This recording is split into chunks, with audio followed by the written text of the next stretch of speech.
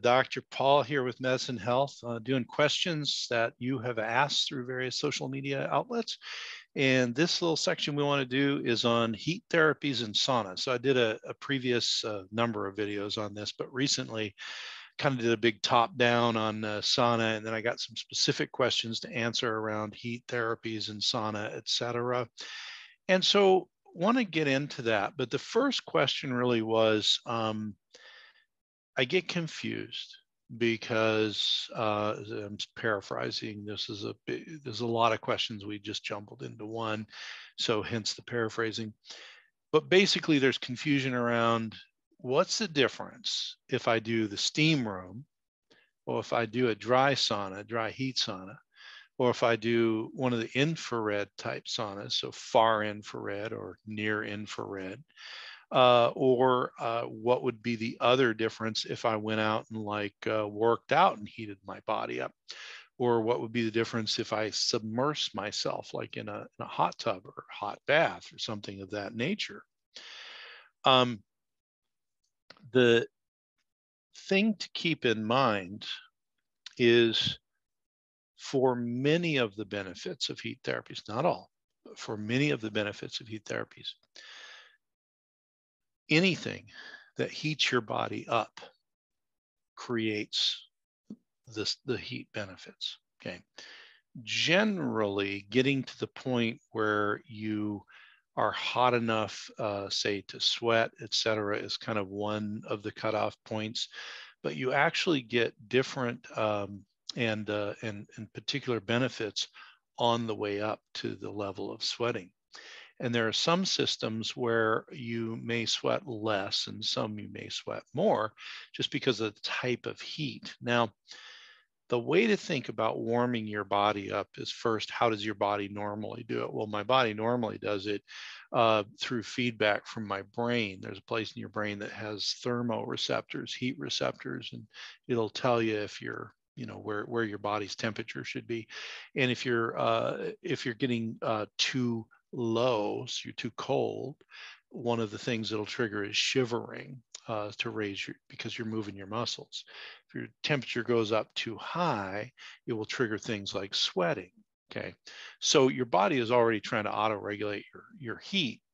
Well, when I put external forces or internal forces to heat my body up, I'm doing something in excess of just living and just existing. So uh, the first thing would be like exercise. So people will say, well, I, you know, I don't, um, uh, I don't have access to anything to heat me up outside of maybe my shower, uh, but I do exercise. So we work with that, and I'll, I will have them uh, exercise, do their exercise, ask how much they sweat, what they wear, and all that. So if somebody's really trying to uh, work on detox, I may have them wear an extra layer of workout gear so that they sweat a little bit more and all of that. Now, uh, we always make this disclaimer this is not medical advice, it's just background information, answering questions. You still you need to run this by your healthcare providers because you can get in trouble sauning. You get dehydrated. Uh, if you have an unstable heart, it can be a problem there. If you have unstable blood pressure, so you really want to get sauna and heat therapies cleared before you go and do them. But that being said, um, you want to make sure you're hydrated enough no matter what, whether you're static sitting in a sauna or you're going to exercise and raise your blood uh, your blood temperature, your body temperature, you're still going to get many of the benefits. But then there's the external things. So you've got like a dry and a, and a, and a steam sauna, maybe, you know, at your health club, right? And they do different things, but they both uh, heat your body up from the outside in.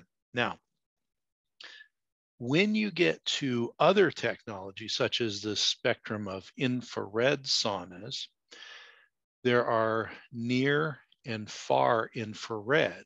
Okay, so you have uh, red at one end of the light spectrum.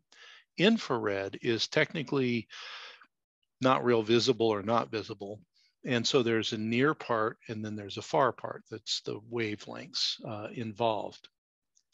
There are differences. Some people think more, some people think more subtle, but there are differences between heating your body up, say with uh, you know hot rock dry sauna, and then actually being in a sauna that uh, has generators uh, of infrared uh, infrared light wavelengths. So near and far infrared are both perceived by the body to be probably something that's naturally occurring. We're just having a lot of it. Okay. Um, in the case of the infrared bands and spectrums and all of that, those often are recommended by people who are uh, recommending, you know, deeper levels of detoxification, et cetera. And in some cases, some of those wavelengths do make a difference as far as the enzymes that get turned on and all of that. But what many people in the depuration world, which is the kind of whole body detoxification, which can include saunas and stuff, um, many people in the depuration world uh, who have looked into heat and all of that will say the bulk of the benefits are just by heating your body up. Doesn't matter how you got your body heated up. Now, there might be specific benefits when you get to, say, specifically an infrared sauna um, between near and far, but the infrared are going to do a, a little bit, maybe more specific job of heating you and your cells up. So what do these things do? Well, one of the cool things that we're learning more and more about is toxins that actually get into your body and move all the way to your DNA can tag and sit on your DNA and they call them DNA adducts. And so a DNA adduct is kind of very hard to get off of the DNA, which makes a problem because they mess with the way that the DNA works. So a lot of toxins are DNA adducts and um, some research seems to indicate that heat therapies are one of the best ways to dislodge DNA adducts uh, from your uh, DNA in your cells. So that's a pretty huge thing. Now, the next thing is anytime you heat your body up, many of your immune enzymes and other enzymes will speed up. Okay. Enzymes are things that help a process to move more quickly. Okay. So they get in the middle of uh, the substrate or the base and then the product or the thing that you're sending out, and they speed that reaction up. Well, many enzymes have temperature uh, ranges where they work the best, and some of your enzyme systems, such as especially around your immune system, uh, are really set up so that when you get a fever naturally with an infection, the enzymes upregulate, uh, which is very important.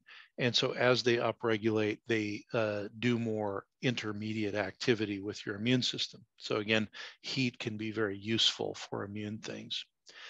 Well, we're running down on time here, but to summarize with heat therapies, number one, the first goal is to heat your body up however you do it. The next goal would be uh, if you're working for a specific outcome and you're working maybe with someone who does detoxification or depuration, they're going to tell you what their favorite intervention is, and uh, you can you know work with that. But heating your body up is the first goal, no matter how you do it. We speed up a lot of enzyme systems that are good for cleaning up and immune activity, et cetera. We have a lot of uh, sped up detoxification and depuration enzymes, so things to move the junk out of our body. We increase uh, uh the removal of DNA adducts, toxins that actually get into your nuclear material. And it actually helps your metabolism to speed up, which can be very useful for a number of things. But we are out of time for today. I'm Dr. Paul Anderson, Medicine and Health. I want to thank you for listening. Please like, share, and subscribe. We're on all of the pod burners. We're on YouTube. We're on Contact Talk Radio Live and on all of their back material. And we do live stream this on Facebook as well. DrAnow.com is the best place to get the link for all of the stuff, but I'll see you next week on the radio. Thanks.